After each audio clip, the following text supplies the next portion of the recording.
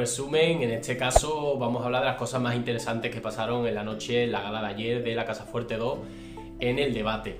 Y es que, como siempre os digo, como no tenemos los resúmenes a diario, eh, porque no todos tenemos mi Teleplus, pues nos meten en las galas, en las tres galas que hay, contando el debate de anoche, nos lo meten todo lo que ha pasado en los dos o tres últimos días de cada gala, ¿no? Entonces, claro, de repente nos meten eh, pues mucho contenido, porque son 24 horas, mucha gente, cada uno de su padre y su madre, y en este caso, pues, eh, por contaros, Marta, ya sabéis que con Samira se llevaba mal por el tema de Dubai. Marta está muy preocupada porque los padres no están por la labor porque ella está en reality, la vean sufrir, la vean llorar, tiene un temperamento que ya sabéis. Pero bueno, por lo que hemos visto en los resúmenes que nos han puesto, pues al final incluso se abrazaron con eh, Samira y ella. Eh, creo, creo que al final han quedado bien, incluso en la gala Sandra intentó meter un. Sandra Vaneda intentó meter un poquito de. Vamos, Marta, que no te veo porque puse una cara, porque eh, en uno de los momentos que Samira estaba hablando, pero bueno, simplemente lleva razón Samira, que por nada salta. Y fue la cara rara que puso y Sandra intentó pinchar ahí a ver si pasaba algo. Bueno, que no habéis solucionado. No, sí, sí, sí, que no hay problema, por ahora no hay problema. Está un poco la cosa más aclarada. Y, bueno, yo por el bien de las dos, que estén bien, porque una cosa es que nos guste ver enfrentamiento y otra cosa es ver en ese estado de, en el que está Marta, que está fatal, ¿no? Creo que, es demasiado el estado en el desequilibrio que está algunas veces. Uno sufre mejor o peor te puede caer, pero uno sufre cuando, cuando lo, la ve tan, tan, tan, tan mal, ¿no?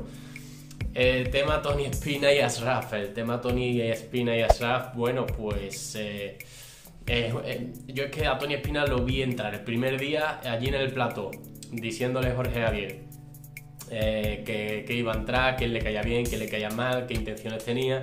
Y ya cuando fue con la mente, con la idea de Asraf, ya eso a mí me dijo, este va a entrar con un papelón y no me gusta ni un pelo. Además, persona que va normalmente, generalizando, normalmente gente que va de reality en reality, eh, eh, no me suele caer bien. Es decir, es que este no viene de hacer solo GH es que este viene de hacer el de Oriana en Chile y ha hecho una serie de, cosas, hasta por mujeres y hombres, hasta por. En, fin, el mundo televisivo, que me parece muy bien, estupendo y muy bien. Pero claro, eh, cuando tú vas eh, en plan a las malas, ¿no? Yo vengo porque es verdad que se llevó mal con el Rafa o lo que fuera, eh, pero ahora yo estoy viendo un Tony nuevo. Es que el Tony que vimos en HB era un soso con la macoque y con todo el mundo, era el tío más soso del mundo. Yo decía, echarlo ya porque es que es, un mueble.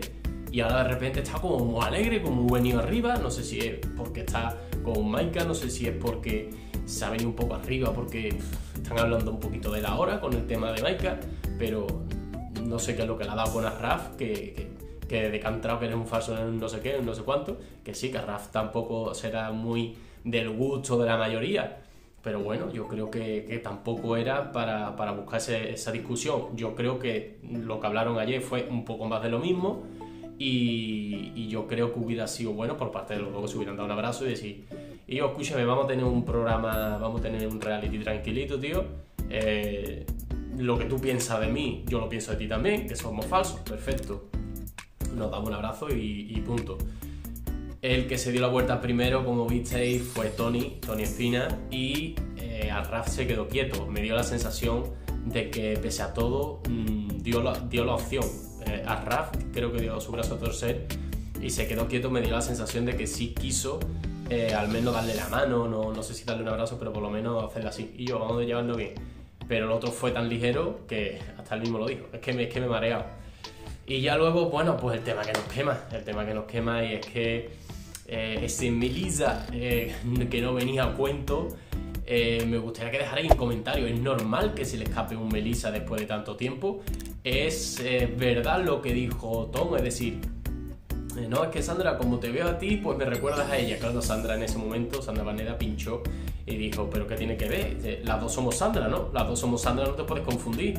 Y que yo te recuerda a Melissa, no sé por qué tiene que ver. No, es por el reality, por el reality. Mm, bueno, ahí quedó un poquito tierra, trágame. Eh, no sabía explicarse, se puso nervioso. Eh, Sandra sí ya estaba mal por lo que estaban hablando de todo lo que sucedió durante la semana, que a Sandra no sé qué leche le pasa, sinceramente. Eh, bueno, sí, que está totalmente desconfiante de él. Lógico, eh, lo que te ha hecho a ti con Melissa te lo pueda volver a hacer a ti. De hecho, ya te lo hizo. Nada más salir. En los primeros 10 días en los que no estuvisteis juntos, ya te lo hizo. Pero bueno, eso, eso es algo que, que, ella tiene que llevar adelante. Es decir, mm, estás con una persona así, eh, sabes que cuando te des la vuelta, si ve a otra chica, le va a echar un piropo porque eres así, y eh, es lo que hay. Entonces, mm, eh, o aceptas eso, que yo no lo aceptaría, o, entonces tienes que cambiar de pareja. Pero lo único que le pasa a Sandra es que está hasta las trancas por Tom. Y, Tom, que no, no dudo que no la quiera o que no esté enamorado, pero Tom no deja de ser Tom. Así que ahí no hay más que hablar. Eh, así que eso, pues Sandra lo pasó fatal y el momento es en el que dijo Melissa, eh, ya pues se echó a llorar. Eh, estaba fatal, estaba fatal porque ya era la puntilla que le faltaba. Dice, bueno, si encima estamos hablando de que esto va mal, de la relación tal y cual, Tom tampoco mm, me está expresando lo que ella quiere. Es que ella no quiere decirle 20 veces, tú debes de hacer esto, ¿no? Te debe salir de ti, ¿no? Es lo que explicaba Sandra cuando le dijo Sandra Barneda a Sandra Pica, eh, pero dile tú a Tom qué es lo que quiere. No, no, no, es que yo no tengo que decir nada. Yo ya se lo he una vez y debe salir de él eh, hacer ciertas cosas conmigo. Es decir, como por ejemplo, me imagino que sería lo de no haber ido a la fiesta. Eso debería haber salido de él, ¿no? De no haber ido a la fiesta de Samira el cumpleaños a celebrarlo. Porque si se lleva mal con Samira y tiene problemas con ella, lo lógico es que no hubiera ido al, al cumpleaños. Pero eso no hace falta que se lo diga a nadie, eso cualquiera lo entiende, ¿no? Es a lo que ella un poco se refería, ¿no? Entonces, pues, eh, Sandra, pues ya cuando dijo lo de Melissa y, Tom no sabía ni para dónde mirar, uy, perdón, lo siento, lo siento, perdón, no quería decirlo.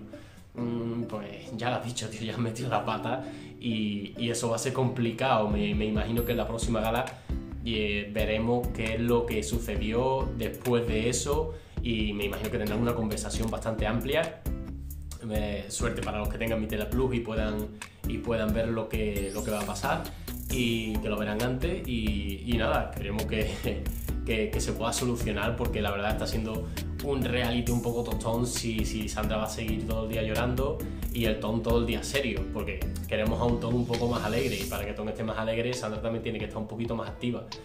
Y en cuanto, por último, lo de Isa y Ashraf, que estaban hablando un poquito del tema de la boda, es dentro de seis meses, en junio. Eh, bueno, le preguntaba a Sandra Barneda si iban a, sentar en la misma mesa a Kiko y, a Isabel Pantoja, ¿no? Con toda esta problemática. Eh, ellos le decían que la teoría es que sí, de que evidentemente vayan en la misma mesa y que espera que vayan, primero que vayan, independientemente de cómo estén en ese momento, ¿eh? de, que estén enfadados, de que sigan con la misma disputa, de que estén que vayan, que lo importante es la boda y, que sus cosas pues se queden a un lado, y, pero que evidentemente ellos esperan, esperan, tanto a Raf como, como Isa Pantoja, que esté solucionado en aquella fecha. Son seis meses, sabemos que todavía quedan un par de meses, tres largos mm, de Cantora 3, Cantora 4, Cantora 5 y, la, sucesión de, acontecimientos, de sí, una denuncia, un no sé qué, que al final se sienten. Yo creo que al final, si se sienta Kiko Rivera con Isabel Pantoja, madre e hijo, creo que mm, no se alargaría mucho esto, porque en un principio aclararían los papeles, que es lo que Kiko quiere saber. Quiero aclarar los papeles y explicaciones de lo que me he encontrado el 2 de agosto. Una vez que eso esté solucionado, creo que ahí va a haber un antes y un después. No digo que se vayan a volver a ser con madre e hijo como antes, pero sí que es cierto que al menos van a. Sus nietos pueden recuperar a una abuela, porque evidentemente ahora mismo estarán negados a, a, ir a Cantora, como, como ya ha, expresado Kiko, ¿no?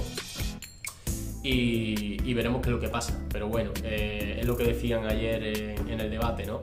Que esta boda, si no va Kiko o, si no va Isabel Pantoja, después de, varias bodas que ha tenido Isa, ya no tiene tanto interés y encima si no van a ir los que, los, que más morbo van a dar en, la boda, ¿no? Así que veremos qué es lo que pasa, todavía falta tiempo eh, y, bueno, eh, depende de los acontecimientos, como ya he comentado. Así que nada amigos, me gustaría que dejarais vuestro comentario, que os ha parecido el debate de anoche. Me gustaría que comentarais si os está gustando el reality, si lo estáis siguiendo, porque sé que no es el reality a lo mejor que, más os guste, que no sé si el del año pasado lo visteis mal, la verdad que las audiencias andan muy justitas, muy escasas, pero bueno, va, va, un poquito, pero van, pero van. Eh, así que nada, dejadme un comentario, como ya sabéis, nos vemos en el siguiente vídeo. Saludo a mis suscriptores y suscriptoras de Enrique García YouTube.